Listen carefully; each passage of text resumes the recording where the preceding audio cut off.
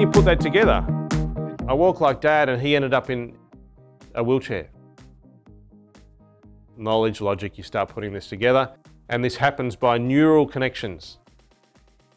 Other sensory cues, I've told some of you the story of a baker I saw once who got extreme phantom hand pain. So he had his hand amputated, he'd got his hand stuck in an industrial bread kneader. And he had it amputated and 10 years later I saw him and he would get severe phantom hand pain on Saturday mornings. And after a while, he worked out with some more detective work than anything else. But Saturday mornings was when his neighbours came over with a fresh loaf of bread.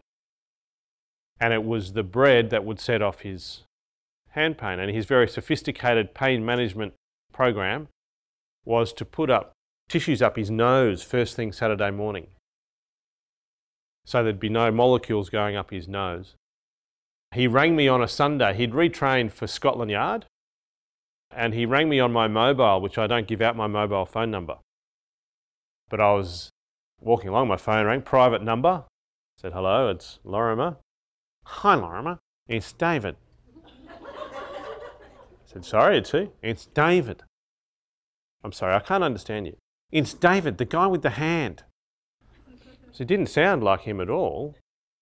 And I thought, oh, and I said, you don't mean David, the guy without the hand? oh, very funny. So, David, you can take the tissues out. Oh, hi, it's David. He still had the tissues up his nose 36 hours later. His very sophisticated pain management exposure program was to wait a slightly longer every Saturday morning before he put his tissues in. And over, I think it was about eight or nine months, he weaned off the tissues and he had no more phantom hand pain. A few serious sinus infections, but it was worth it. But in that particular situation, and that's the most profound example that I've had, it was other sensory cues that set off his pain neurotag.